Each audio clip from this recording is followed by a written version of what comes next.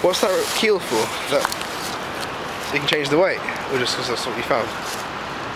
Well, yeah, I'm going to try and take this off to make it. Initial boat testing commencing in T minus 30 seconds.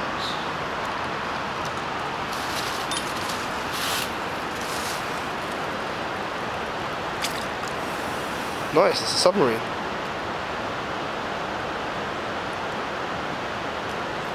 It's going to put it in the bridge. Seems to work quite well.